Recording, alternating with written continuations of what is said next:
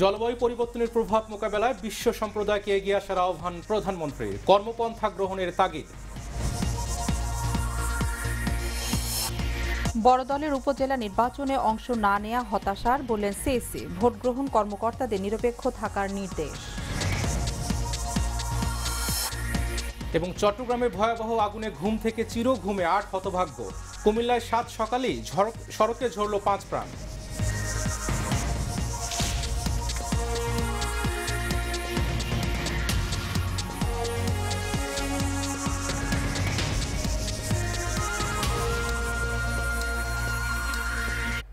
স্বাগত Asia news থার্টিতে আপনাদের সাথে আছি শারমিন রুবি। এবং একই সাথে আমি আসান হাবিব। শুনছিলেন সংবাদ শোনাম এবার চলে যাচ্ছি পুরো সংবাদে। আন্তর্জাতিক প্রতিরক্ষা প্রদর্শনীতে যোগ দিতে এখন সংযুক্ত আরব আমিরাতে প্রধানমন্ত্রী শেখ হাসিনা। এর আগে জার্মানির মিউনিখে নিরাপত্তা সম্মেলনে জলবায়ু বিষয়ক প্যানেল আলোচনায় যোগ দিয়ে জলবায়ু পরিবর্তনের প্রভাব মোকাবেলায় বিশ্ব সম্প্রদায়কে এগিয়ে আসার আহ্বান জানান প্রধানমন্ত্রী। বিস্তারিত ইমরান হোসাইনের রিপোর্টে। জার্মান সফরের শেষ দিন অন্য বিশ্ব নেতাদের সঙ্গে মিউনিক নিরাপত্তা সম্মেলনের মূল পর্বের দ্বিতীয় অধিবেশনে জলবায়ু পরিবর্তন ও নিরাপত্তা বিষয়ক প্যানেল আলোচনায় অংশ নেন বাংলাদেশের প্রধানমন্ত্রী শেখ হাসিনা. জলবায়ু পরিবর্তনের জন্য দায়ী না হলেও বাংলাদেশ কতটা ক্ষতির সম্মুখীন হচ্ছে তা তুলে ধরেন প্রধানমন্ত্রী। Bangladesh will pursue a low carbon development pathway as our commitment to collective good of tackling climate change. Our commitment to low carbon climate resilient development is firm. We plan to move to carbon budgeting, resilient industrialization. We wish to decarbonize our manufacturing pathways. জলবায়ু পরিবর্তনের প্রভাব মোকাবেলায় বিশ্ব সম্প্রদায়ের নানা প্রতিশ্রুতি থাকলেও কার্যত কোনো পদক্ষেপ নেই উল্লেখ করে এখনই ভবিষ্যৎ কর্মপন্থা গ্রহণের তাগিদ দেন Sheikh Hasina. I feel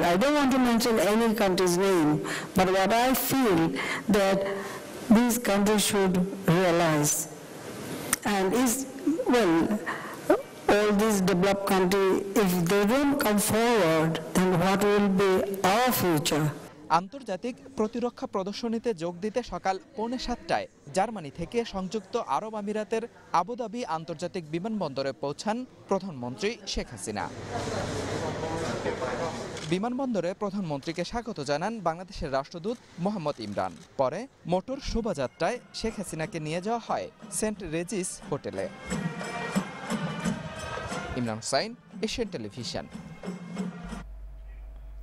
বড় বড় রাজনৈতিক দল উপজেলা নির্বাচনে অংশ না নেয়ার ঘোষণা ইসির জন্য হতাশার খবর বলে মন্তব্য করেছেন প্রধান নির্বাচন commissioner K M Nurul Huda. সকালে নির্বাচন প্রশিক্ষণ ইনস্টিটিউটে অনুষ্ঠানে প্রধান অতিথির বক্তব্যে তিনি আরও বলেন, সার্বিকভাবে অংশগ্রহণমূলক না হলেও প্রতিযোগিতামূলক হবে নির্বাচন। নির্বাচন কর্মকর্তাদের যত ভালো প্রশিক্ষণ দেয়া যাবে, নির্বাচন তত ভালো হবে বলেও মন্তব্য করেন সিইসি। তিনি বলেন, নিরাপদে ভোটাররা যাতে কেন্দ্রে আসতে পারে, সেই বিষয়ে নজর দিতে হবে। কোনো কর্মকর্তার পক্ষপাতমূলক আচরণের কারণে নির্বাচন প্রভাবিত হলে কঠোর ব্যবস্থা নেওয়ার হুঁশিয়ারি দেন তিনি। চারশো বিরানব্বইটি উপজেলায় পরিষদ নির্বাচন অনুষ্ঠান হবে। ব্যক্তির দিক দিয়ে একটি বড়। আমরা এটা ভাগ ভাগ করে পাঁচটি ভাগে এই নির্বাচন অনুষ্ঠান পরিচালনা করব। অনেকগুলো বড় বড় রাজনৈতিক দল এতে অংশগ্রহণ করবে না।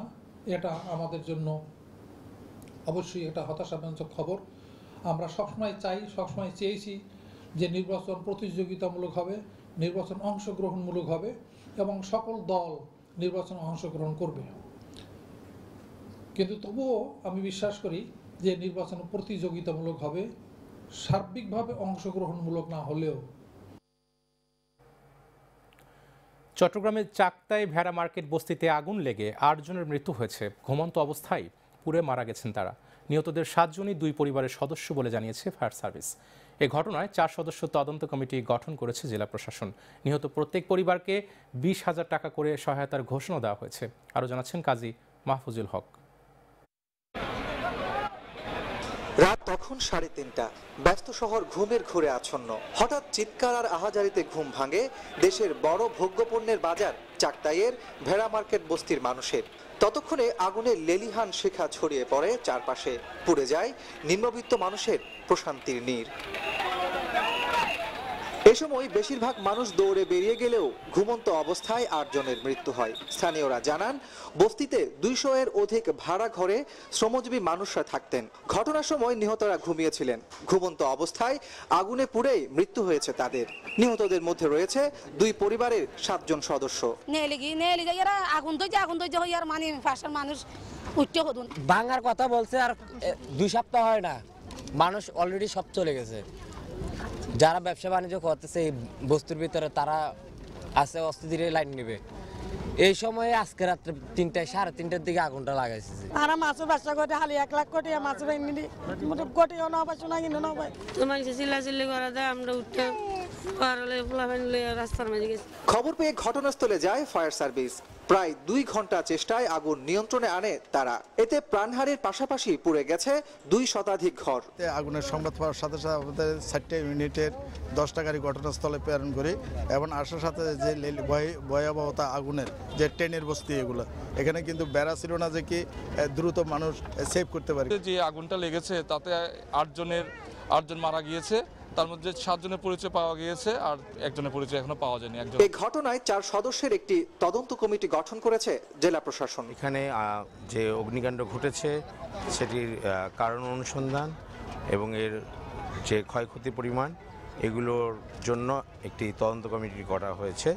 আগুন লাগার পরপরই police fire service city mayor এবং চট্টগ্রাম জেলা প্রশাসনের ঊর্ধ্বতন কর্মকর্তারা ঘটনাস্থল পরিদর্শন করেছেন।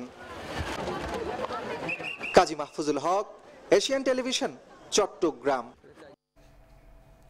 কুমিল্লার চোদ্দ গ্রামের গাংরা এলাকায় বাস ট্রাক সংঘর্ষে অন্তত পাঁচজন নিহত হয়েছেন, আহত হয়েছেন আরও দশজন।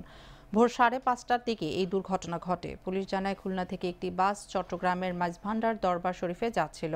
ভাংরা এলাকায় একটি ট্রাককে ওভারটেক করার সময় সংঘর্ষ হয়। এতে ঘটনাস্থলেই মারা যান পাঁচজন। আহতদের চৌদ্দগ্রাম উপজেলা স্বাস্থ্য কমপ্লেক্সে ভর্তি করা হয়েছে আর মরদেহগুলো উদ্ধার করে ময়নাতদন্তের জন্য নেওয়া হয়েছে কুমিল্লা সদর হাসপাতালে।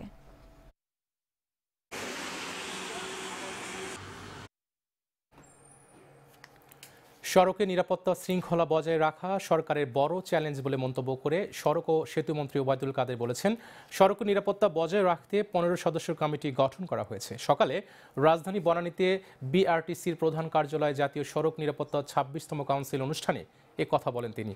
এ সময় মন্ত্রী আরও বলেন, সড়ক নিরাপত্তা নিশ্চিত করতে সড়ক পরিবহন আইন পাশ করা হয়েছে।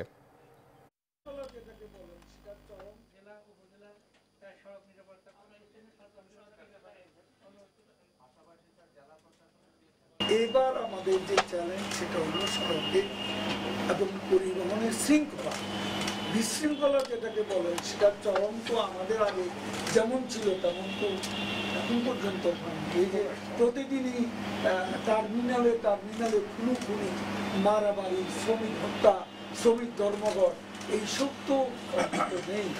আর মোটে রিলেটিভলি একটা পিসফুল অবস্থা বিরাজ করছে। অনুমোদনহীন news portal, online TV, IPTV সহ সব ধরনের অবৈধ প্রচার মাধ্যম বন্ধে উদ্যোগ নেওয়া হবে বলে জানিয়েছেন অ্যাডকোর সভাপতি সালমান এফ রহমান। সকালে রাজধানীর একটি হোটেলে টেলিভিশন মালিকদের এক মত বিনিময় সভায় সব কথা বলেন তিনি। তিনি আরও বলেন, বিদেশি টেলিভিশনে বাংলাদেশি বিজ্ঞাপন প্রচারের বিধিনিষেধ বাস্তবায়ন করতে হবে। এছাড়া বেসরকারি খাতকে আরও বেশি গতিশীল করতে সরকার কাজ করছে বলেও জানান তিনি। এর আগে এশিয়ান টেলিভিশনের চেয়ারম্যান আলহাজ হারুন রশিদ, সিআইপি সহ অন্যান্য টেলিভিশন মালিকরা ফুল দিয়ে শুভেচ্ছা জানান সালমান এফ রহমানকে। আমাদের টেলিভিশন আমাদের টেলিভিশন ইন্ডাস্ট্রিতে অনেক চ্যালেঞ্জ এসে গেছে। এবং আমি মনে করি সবথেকে বড় চ্যালেঞ্জটা হচ্ছে টেকনোলজিক্যাল চ্যালেঞ্জগুলি। এই যে আমাদের অনলাইন টিভি আইপি টিভি তারপর যেভাবে প্রযুক্তিটা আপনার আগাইতেছে এখানে আমরা কীভাবে এটা ফেস করব এটা নিয়েই আমি কিন্তু আমার এখানে যারা সহকর্মীরা আছেন ওনাদের সবাইকে আমি বলেছি। এই পর্যায়ে জানিয়েছি সেন্ট্রি সিকিউরিটির সংবাদ বিরতি। ফিরে এসেছে থাকছে যৌবন হারিয়ে বিলীনের পথে তুরাগ নদ, তীর ঘেঁষে গড়ে উঠছে শত শত শিল্প কারখানা উচ্ছেদ অভিযান চালানোর দাবি।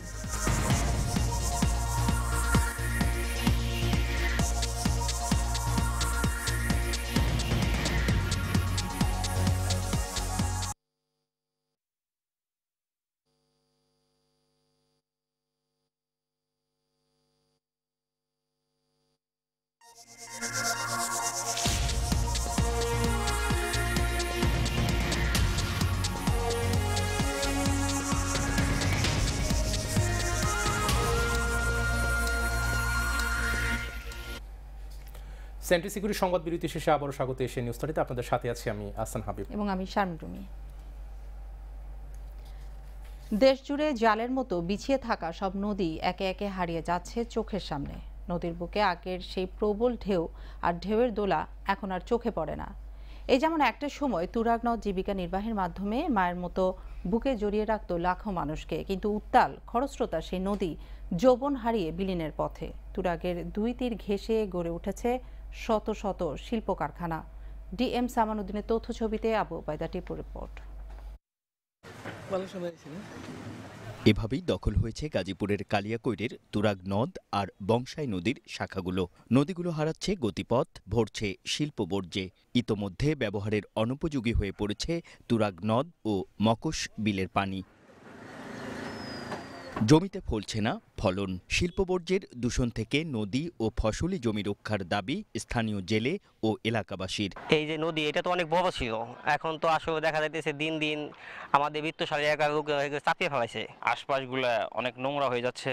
এই সেই জন্য চাইতেছি যে সরকার আমাদের এই নদীটা দখলমুক্ত করে দেয় আশেপাশে মিল ফ্যাক্টরির বর্জ্যের কারণে এর পানি নষ্ট হয়ে গেছে।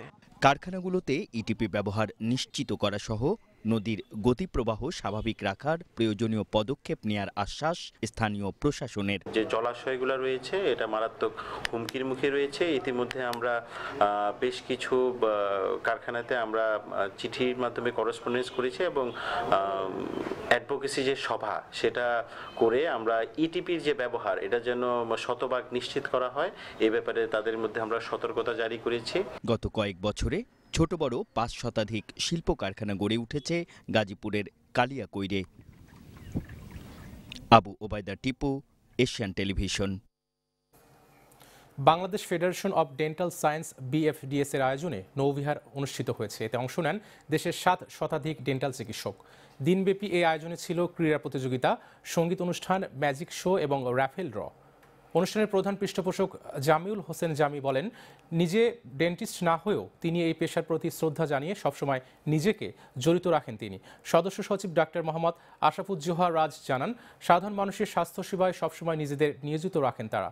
বিএফডিএস তাদের সফলতার ধারাবাহিকতায় এবছরের আন্তর্জাতিক ডেন্টাল কংগ্রেসের প্রস্তুতি চলছে বলে জানিয়েছেন আয়োজকরা।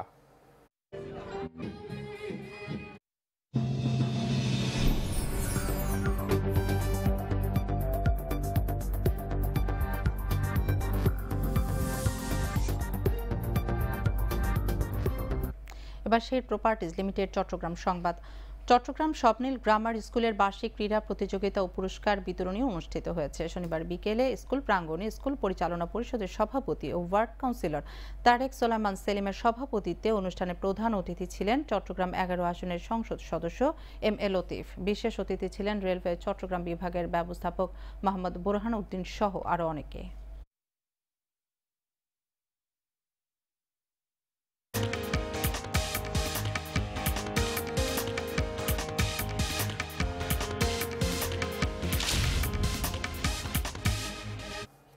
আন্তর্জাতিক প্রসঙ্গ।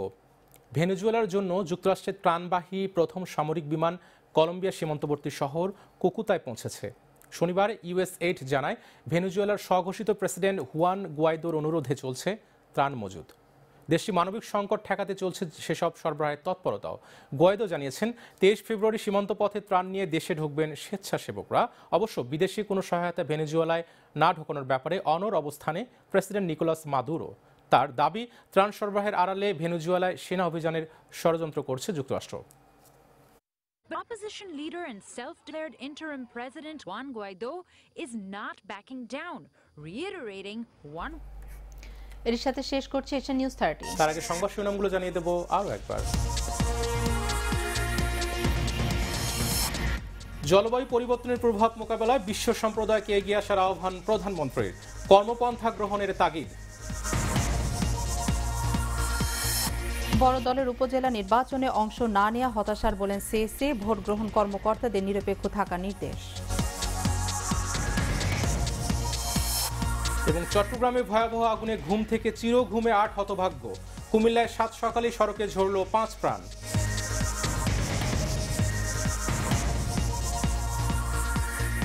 এই ছিল এখনকার আয়োজন। পরের সঙ্গে সন্ধ্যা পাঁচটা পঞ্চাশ মিনিটে এশিয়া নিউজ থার্টি দেখার আমন্ত্রণ রইল। এতক্ষণ সঙ্গে থাকবার জন্য ধন্যবাদ সবাইকে। ধন্যবাদ।